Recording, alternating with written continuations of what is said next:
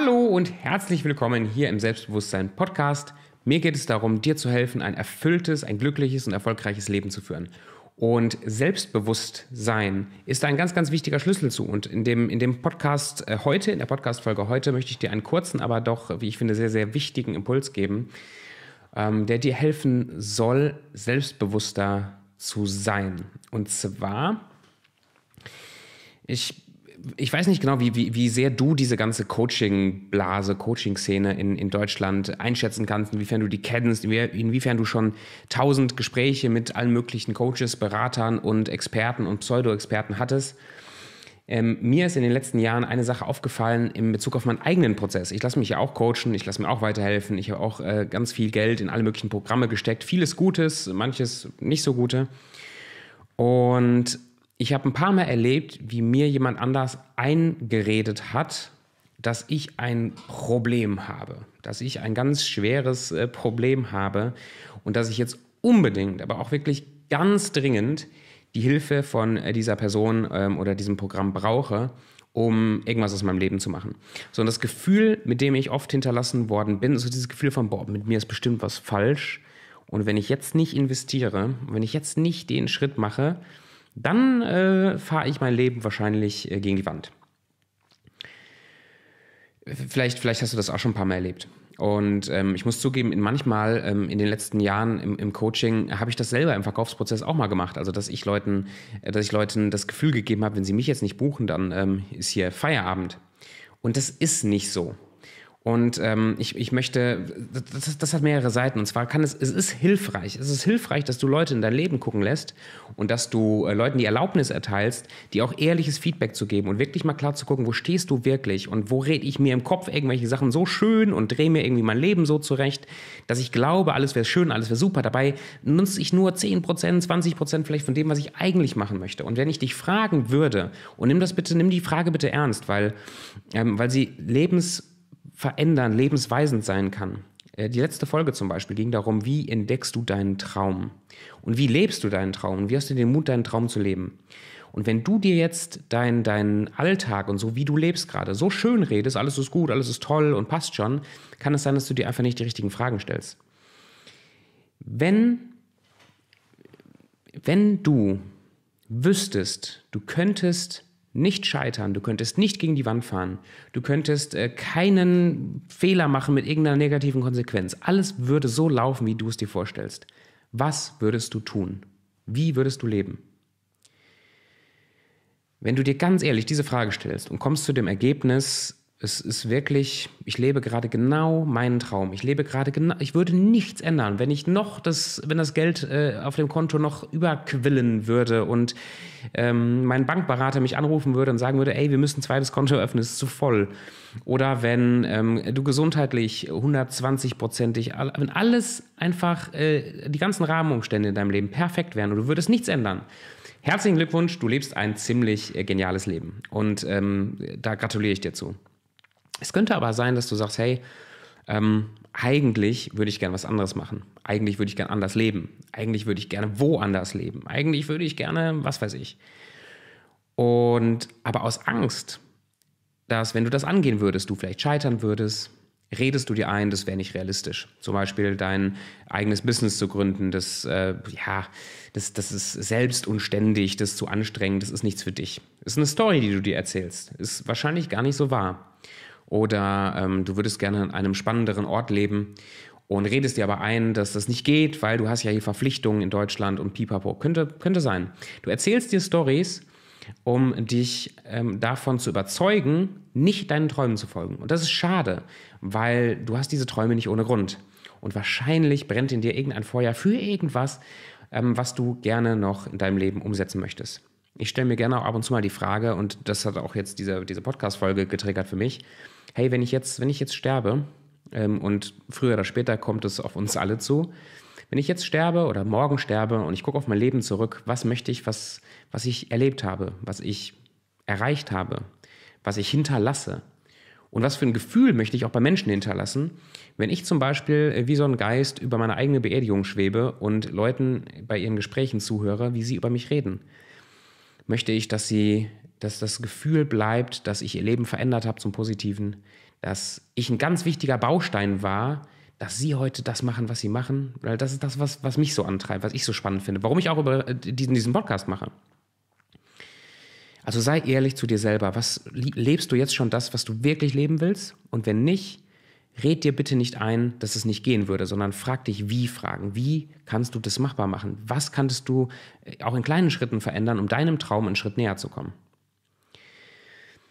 So, eingeleitet habe ich ja mit, hey, es gibt Leute, die reden dir ein, du hast hier ein Riesenproblem und die machen dir das Problembewusstsein so groß, dass du glaubst, dein Leben ist im Sack. Das ist das andere Extrem.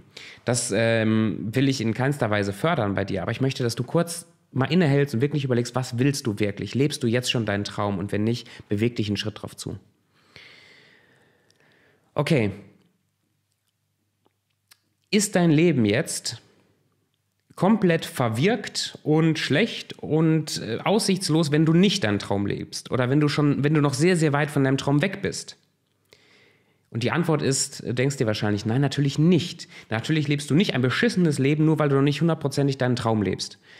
Und lass dir das bitte nicht einreden von Menschen, die ganz punktuell in dein Leben reingucken, wie zum Beispiel bei so einem Vorgespräch oder bei irgendwie sowas, lass dir nicht von diesen Menschen einreden, dass du da, dass du ein ganz beschissenes Leben leben würdest, sondern schau da so ein bisschen differenziert, schau da von mehreren Seiten drauf. Und das, das soll mein, mein Kernthema und Impuls heute für dich sein.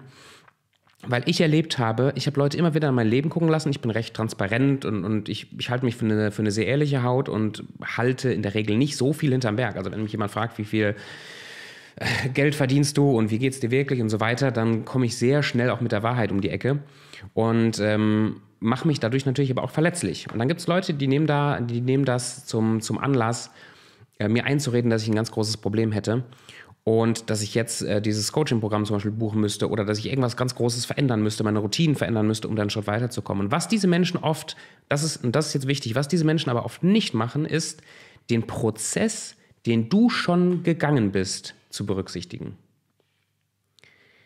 Mir wurde mal eingeredet über Wochen, dass ich, weil, weil eins meiner Kernthemen ist ja Selbstbewusstsein, ne? der, der, der Titel von dem Podcast ist Selbstbewusstsein. Und mir wurde mal eingeredet, dass, das, dass ich das nicht mit gutem Gewissen machen könnte, weil ich bin gar nicht so selbstbewusst. Ich bin überhaupt nicht äh, meiner selbst so wirklich bewusst. Und ich äh, bin auch sehr unsicher, wenn ich mit gewissen Leuten zusammen bin. Deswegen ist es nicht gut, dass ich hier so einen Podcast mache, Selbstbewusstsein. Und da ist ja, da ist was dran. Also das hat ja auch einen Grund, warum ich hier mit dem Thema Selbstbewusstsein um die Ecke komme, weil das auch mein Thema ist, weil das ein Thema ist, mit dem ich mich auch beschäftige. So, und, und dieser, diese, das, was mir da eingeredet werden sollte, ist mir sehr lange nachgegangen. Also ich habe auch den Podcast dann länger pausiert und habe mir Gedanken darüber gemacht, inwiefern das eine Lüge ist, die ich lebe und so weiter. Äh, und ich habe mich darauf verlassen, dass ich wahrscheinlich hier nicht ehrlich bin. Und dann ist es mir irgendwann wie Schuppen äh, aus den Haaren gefallen, Tobi, es geht doch nicht darum, dass ich hundertprozentig, 120.000prozentig ein perfektes Leben lebe, absolut meinen Traum lebe und nur dann berechtigt bin, Leuten weiterzuhelfen. Oder auf dich bezogen. Du bist doch auf einem, solange du auf einem guten Weg bist, äh, nur, weil, nur weil du noch nicht angekommen bist, da wo du eigentlich hin willst, ist doch nicht alles, was du bis jetzt gemacht hast, scheiße. Klingt vielleicht total simpel, aber das musst du dir mal auf der Zunge zergehen lassen. Du hast einen Traum, du hast ein Ziel, du hast eine Vision. Und was das Leben jetzt ist, ist, oder was ein Aspekt des Lebens ist, ist, dass du dich jetzt jeden Tag einen Schritt auf dieses Ziel zu bewegst. Jeden Tag eine, eine, einen kleinen Schritt in Richtung deiner, deiner Vision machst.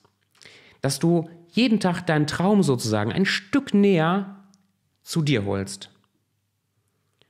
Nur weil du jetzt noch nicht deinen Traum lebst, ist nicht dein Leben verwirkt. Ich habe mir aufgeschrieben ähm, vor, vor ein paar Tagen hier im Tagebuch, inwiefern lebe ich schon meinen Traum? Habe mir Gedanken gemacht über Ausrichtung nochmal und über wo will ich eigentlich hin. Und äh, das, das, fand ich richtig, das fand ich richtig schön. Ich möchte dir das kurz vorlesen. Inwiefern lebe ich schon meinen Traum? Ich bin zwar noch nicht in meinem Traumhaus, aber ich bin auf dem Weg auszureisen auf eine Insel. Ich bin zwar noch kein Millionär, aber ich arbeite jeden Tag an meinem Business. Ich inspiriere noch keine Tausende und Millionen von Menschen, aber einige hundert, schon allein durch den Podcast hier. Ich bin noch nicht komplett durchtrainiert, aber ich trainiere fast täglich. Ich habe noch keine Familie mit zwei Kindern, wie ich das gerne hätte, aber ich habe eine tolle Frau, die mich liebt. Ich bin auf einem fantastischen Weg. Danke, danke, danke.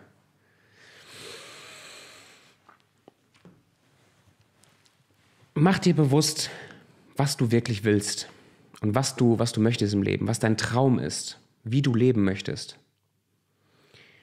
Sei ehrlich zu dir selbst, dass du erkennst, wo lebe ich das noch nicht, wo bin ich das noch nicht und wo rede ich mir vielleicht diese Geschichten ein, dass mein Leben doch irgendwie schon sauberer und toller wäre, aber eigentlich lebe ich gerade an meiner Bestimmung vorbei.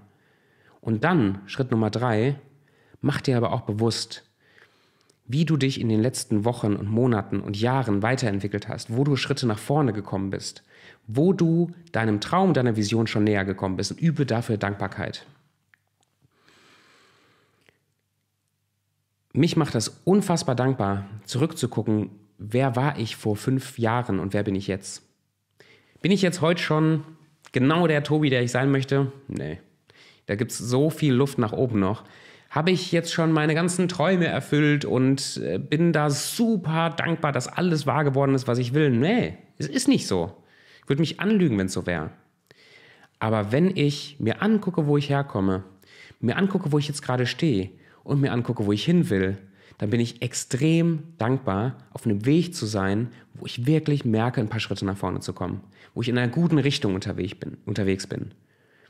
Und deswegen muss ich mich dafür schützen, mir von außen einreden zu lassen, es wäre was falsch mit mir. Und mich trotzdem immer wieder zu hinterfragen, was kann ich verändern, verbessern? Bin ich noch auf dem richtigen Weg? Gehe ich gerade die richtigen Schritte oder verarsche ich mich selbst?